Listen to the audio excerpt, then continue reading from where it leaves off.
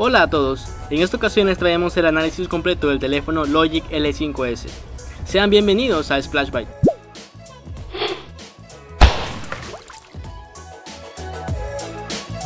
Este teléfono Logic está concebido en un cuerpo unibody hecho de aluminio y cristal para la parte delantera. Podemos ver como en el borde tiene las esquinas redondeadas las cuales le otorgan comodidad a la hora de poder usarlo. En su lateral izquierdo no tenemos ningún botón, solamente la ranura para la tarjeta SIM y su micro SD, la cual soporta su máximo de 32 GB. O bien puedes elegir usar las dos SIM a la vez, ya que permite usar Dual SIM. En el lateral derecho están los botones de volumen y encendido, los cuales la pulsación es súper precisa y no se sienten para nada frágiles a la hora de usarlos. En la parte superior encontramos el jack 3.5 mm para nuestros audífonos y también trae un sensor infrarrojo para poder usarlos como control remoto para nuestros dispositivos electrónicos. En la parte de abajo nos encontramos con su altavoz, el cual no es estéreo, ya que solo es altavoz y el otro es micrófono. Y en medio encontramos su entrada de USB tipo C, la cual nos permitirá cargar nuestro teléfono y brindarnos todas las posibilidades que nos da este nuevo puerto.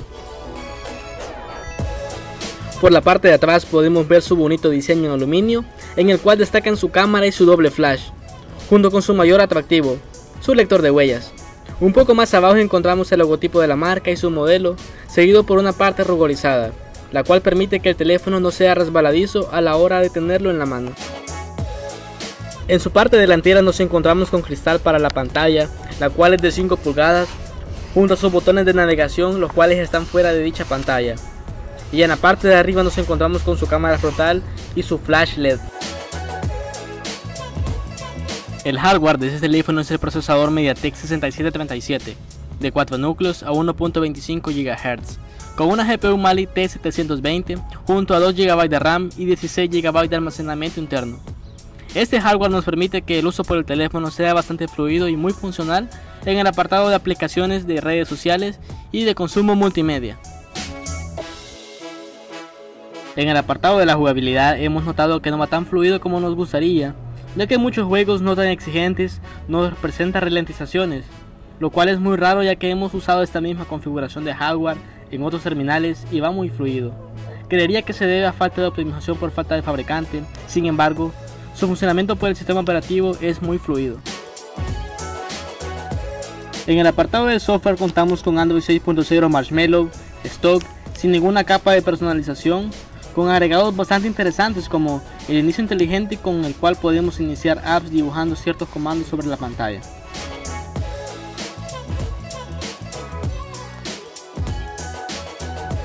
Además podemos ajustar la pantalla a nuestro gusto con la opción de mira visión. La conectividad de este Logic está bastante balanceada ya que contamos con Wi-Fi, Bluetooth, radio FM, acelerómetro, sensor de proximidad y sensor de luz junto con su lector de huellas, el cual está en una posición muy cómoda a la mano y resulta sencillo de ubicarlo.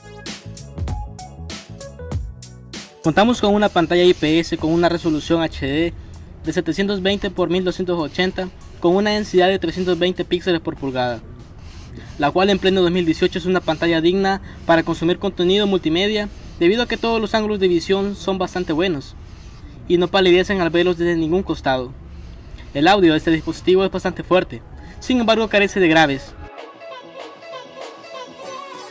La cámara principal de este Logic es de 13 megapíxeles. Su aplicación de cámara nos da opciones bastante básicas como el HDR manual y gestos de captura. Sin embargo carecemos de ajustes manuales. En cuanto al video, este nos permite grabar hasta un máximo de 720. cámara frontal es de 8 megapíxeles y cuenta con un flash delantero para ayudarnos en esos ambientes poco iluminados. A continuación pueden ver los resultados que nos da este sensor trasero y así pueden sacar sus propias conclusiones.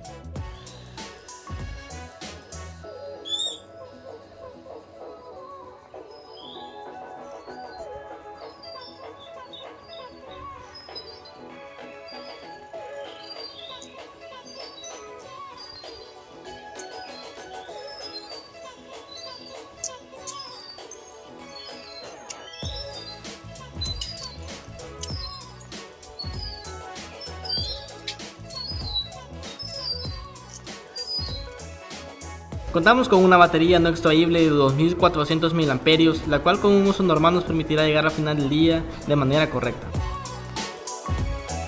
Puedes encontrar este teléfono en el mercado salvadoreño en lugares como Walmart, Maxi Despensas y Celcom, por un precio que ronda aproximadamente los 160 dólares.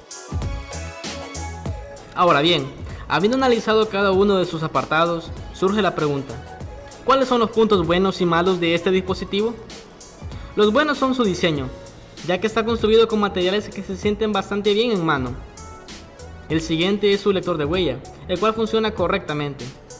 El tercero es su pantalla, debido a sus perfectos ángulos de visión. Y último, la implementación del USB tipo C. Sus puntos malos son los siguientes. Primero, su versión de Android, que aunque no es obsoleta, hemos visto teléfonos más económicos con versiones de Android mucho más actualizadas. El siguiente es su mala optimización en juegos de altos gráficos. Y el último, su falta de carga rápida. Esto ha sido todo en el análisis del Logic L5S. Recuerda que si quieres ver lo que trae este dispositivo, puedes ver el unboxing que te dejamos en la descripción y en la tarjeta aquí arriba. Dale like si te ha gustado esta review, suscríbete para no perderte ninguno de nuestros próximos videos y síguenos en nuestras redes sociales. Esto ha sido todo por hoy y nos vemos en el próximo video aquí en Splashbite.